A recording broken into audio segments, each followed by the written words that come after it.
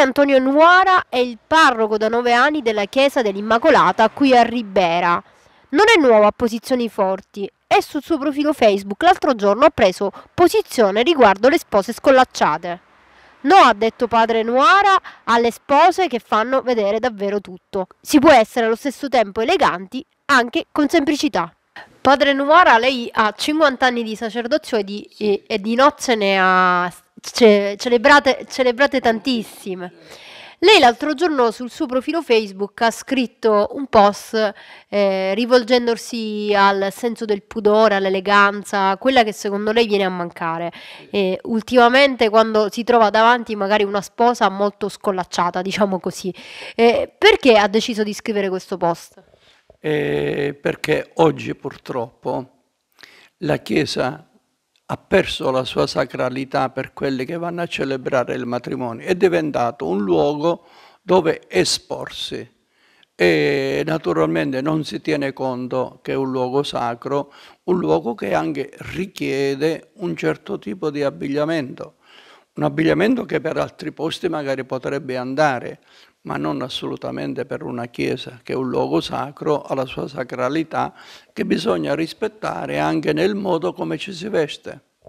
Non ha paura di passare per, un, per essere bigotto, nel senso che comunque adesso anche il modo di vestire si è molto emancipato e magari qualcuno dice eh, ognuno si veste come vuole per, anche per in quel momento.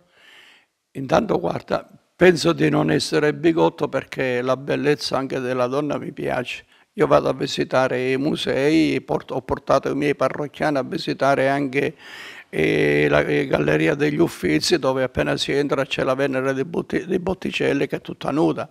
O li ho portati anche a vedere a Bagheria il museo di Villa Cattolica dove ci sono le opere di Renato Guttuso, dove ci sono moltissimi nudi.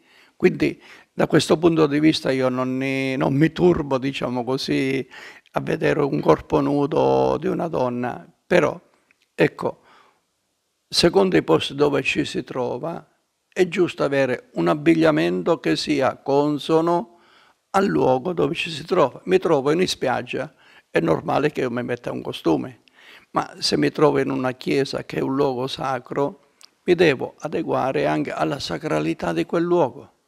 Ora, passare per bigotto, certo, per quelle che pensano che ormai ognuno può fare quello che vuole, naturalmente è certo che passerò per bigotto, però se noi riflettiamo un po', penso che tutti diciamo che è giusto che secondo i posti dove ci troviamo, naturalmente poi indossiamo un abito adeguato.